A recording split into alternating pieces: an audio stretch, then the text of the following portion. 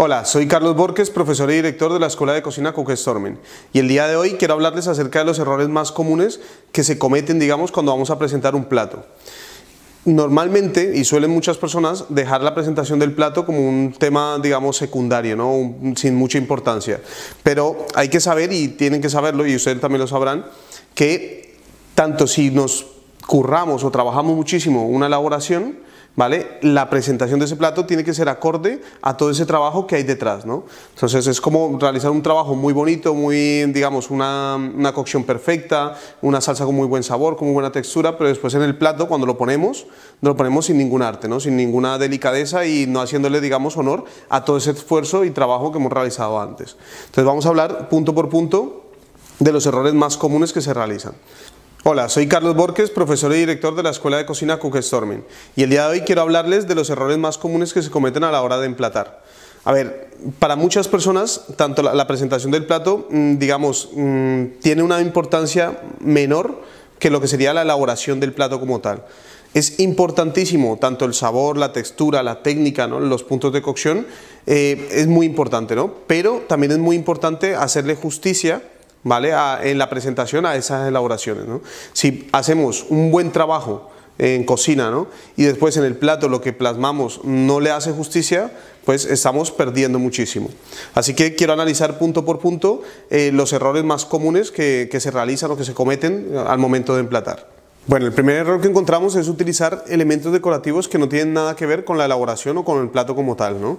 Por ejemplo, utilizar eh, o abusar, digamos, del uso de la reducción de Módena, ¿vale? Eh, utilizar, eh, digamos, hierbas cuando no tienen absolutamente nada que ver, poner una hojita de hierbabuena en un plato eh, en el que no hemos utilizado para nada la hierbabuena, poner algún tipo de elemento ¿vale? O cualquier elemento decorativo que no aporte, ni que sume, ni que aparte no hayamos utilizado dentro del plato. Y además que seguramente tampoco se pueda comer, ¿no? Entonces eso se suele utilizar y se suele cometer ese error muy comúnmente, ¿no?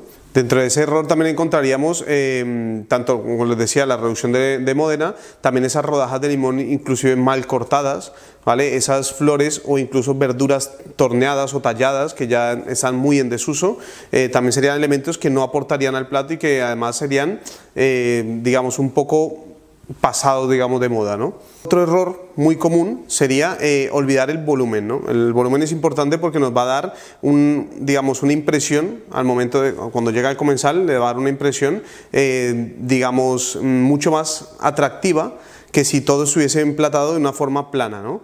Entonces, eh, eh, nunca hay que olvidar que si podemos darle algo de volumen a nuestro plato, se lo tenemos que dar con elementos mismos del plato, ¿vale? O con eh, ingredientes decorativos, tipo brotes, hojas, flores, ¿vale? Que ayuden a que nuestro plato tenga volumen, ¿no? Que tenga ese, digamos, relleno en las tres dimensiones, no sea solamente un elemento, un plato plano, completamente llano. Otro error común es no tener en cuenta la vajilla. Eh, sencillamente mm, utilizar cualquier plato porque sí, o todos los platos iguales. Eh, podemos jugar y no hay que olvidar que es un elemento que nos puede ayudar a, que brille muchísimo más nuestro plato. ¿no? El color tanto de la vajilla, la textura, la forma, ¿vale? es importantísimo. El tamaño, jugar con el tamaño de nuestra vajilla. Eh, no tenerlo en cuenta puede hacer que un plato que o se vea muy sobrecargado o que se vea por el contrario muy, una cantidad demasiado ridícula, ¿vale?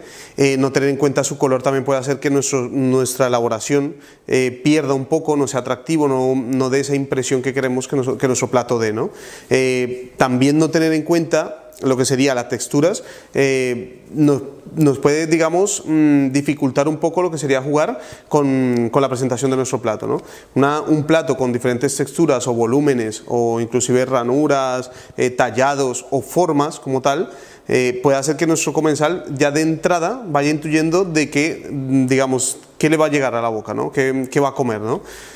Por ejemplo, un ejemplo clásico, pues esos platos con formas de conchas marinas, de, almejas, platos en forma de ostra, me siguen en forma de coral, eh, son platos que nos ayudan a indicar, o nos, van a indicar al comensal, le van a indicar que esencialmente ese plato tiene elementos marinos, ¿no? Y ya pueden entrar, digamos, en un contexto eh, que puede hacer que la experiencia de ese comensal sea mucho más eh, placentera, ¿no?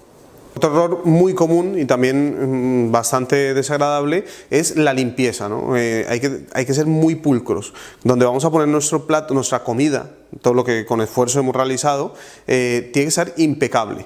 Entonces esto es eh, cuando vamos a trabajar con un plato blanco, incluso de cualquier color.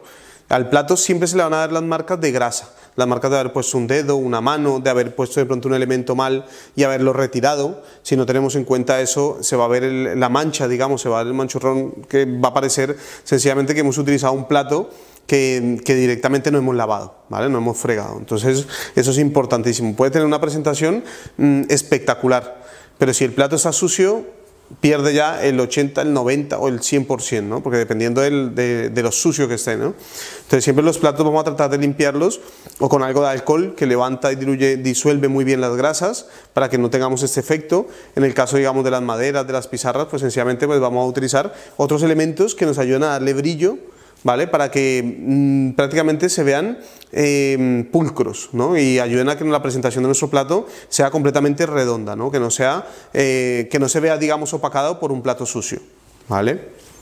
Otro error importante también, otro error también que encontramos es cuando no tenemos en cuenta la consistencia de, de las salsas. Cuando nuestro plato lleva una salsa o va acompañado o se baña la elaboración o el ingrediente principal o sencillamente se utiliza como acompañamiento, no tenemos en cuenta la consistencia. Entonces tratamos de, por ejemplo, hacer un, un brochetazo una gota con una salsa que carece de consistencia o de la, digamos, de la mm, viscosidad que se necesita para hacer ese tipo de emplatado y eh, lo que tenemos o lo que resulta al final es una técnica mal realizada, ¿no? sencillamente por no tener en cuenta eso. Entonces, siempre que una salsa vaya a ir al plato se tiene que revisar su consistencia, si necesita un poco más de reducción, si necesita un poco más de espesamiento, digamos, de, ligarla un poquito más, eh, lo tenemos que tener en cuenta y se debe realizar antes de que el plato salga. ¿no? Entonces eso es importantísimo, tener siempre en cuenta que antes de emplatar tenemos que revisar muy bien la consistencia de las salsas que, vamos a utilizar en el emplatado. Otro error sería el improvisar. Eh, o tratar de, realizar un emplatado sobre la marcha, ¿no? de improvisarlo.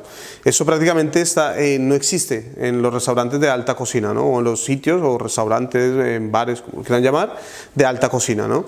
no existe ¿por porque el emplatado es un trabajo que se realiza con mucho tiempo de antelación, en el que se, digamos, se llevan a cabo bocetos, eh, se diseña digamos, el emplatado que va a tener en función del servicio, de la complejidad del plato, de la idea que se quiere transmitir, que se quiere plasmar. ¿me Entonces no es algo que se improvise, siempre algo que está completamente estructurado de antes y que se repite una y otra vez de manera perfecta y precisa en, en el servicio.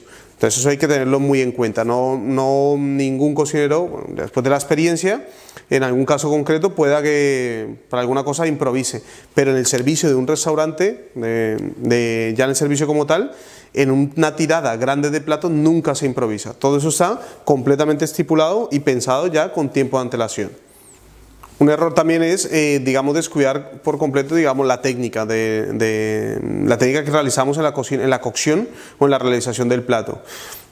Ejemplo, si yo en mi emplatado quiero que la figura o que, mm, que mi elemento tenga una figura simétrica, pues eso lo tengo que ir pensando siempre desde atrás. Entonces, si el pescado, quiero que el lomo, quiero presentar un rectángulo perfecto, pues eso no lo puedo realizar cuando el pescado ya esté cocido, ¿no? Tengo que realizarlo cuando el filete se deja manipular, ¿no? Cuando lo puedo cortar limpiamente y lo puedo perfilar, ¿vale? Eso lo tengo que tener muy en cuenta, ¿no? Eh, digamos, no podemos mm, poner en el plato una carne con mal aspecto, una carne pasada, ¿vale? que cuando la cortamos está completamente opaca. Cuando presentamos, por ejemplo, mm, digamos un tartar o un tataki o un, un, ceviche, algo así, el pescado tiene que tener una apariencia, mm, digamos, apetecible, ¿no? de frescura. Los elementos que ponemos en el plato, eh, la hierba, todo eso tiene que estar en, su máximo, digamos, eh, en su máxima expresión. ¿no? Eh, muy vivas, muy frescas, que noten eso, ¿no? El brillo en los alimentos, ¿vale? Es, es importantísimo. No, no, nunca descuidar eso, ¿no? Que la técnica sea bien realizada y que el aspecto final del plato, del, ingrediente o de los alimentos sea el que tiene que tener, ¿vale? que tenga un aspecto vivo y apetecible. Y por último, y, muy importante, el último punto lo hemos llamado menos es más. A ver, sencillamente, mm, si tenemos algún problema en cuanto a, digamos, a diseñar un emplatado como tal, no encontramos la manera, no encontramos la forma, no encontramos, digamos, em, digamos la composición que, nos agrade, eh, acordarse siempre que cuanto más em, ese comodín nos puede funcionar siempre, ¿no? el cuanto más puro, limpio ¿vale? y delicado se vea algo, eh, vamos a ganar siempre vamos a ganar, o sea, no, vamos a perder en ese sentido. Entonces, si por ejemplo tengo un plato que me es muy difícil plasmarlo en una composición demasiado elaborada, ¿me siguen? Pues sencillamente presentándose, si el producto es bueno y lo, he manipulado muy bien, he seguido correctamente la técnica, el aspecto del producto es el que debe tener, eh, tanto de su salsa, de su acompañamiento, de su guarnición y de, o digamos, ya de como tal de ese producto, pues sencillamente presentarlo de la forma más sencilla posible en la que se vea todo ese trabajo detrás. ¿no? Entonces, no, no, tratar de sobrecargarlo con elementos, no tratar, por ejemplo, de llenar el plato, de, elaborar, de hacer composiciones que resultan muy infantiles, ¿no? Son composiciones en las que se tratan de hacer figuras geométricas muy complejas o muy, digamos, em, que sea algo más sutil, que no sea algo directamente tan, tan explícito, ¿no? Porque si tratamos de hacer eso, hacer, digamos, una flor con algo que sea demasiado explícito, demasiado, digamos, eh, fiel, digamos, a, lo que, a, eso que queremos plasmar, podemos terminar con un plato demasiado barroco, muy sobrecargado, eh, como un plato demasiado infantil, y eso va a ser un problema siempre.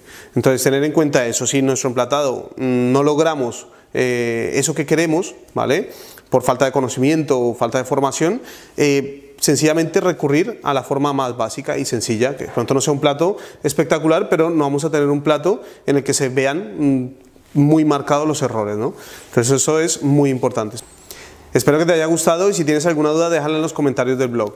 Además te he dejado en la parte de abajo, tienes un link a otros posts que tienen relación digamos con todo esto del emplatado. Y nada, pues hasta la próxima.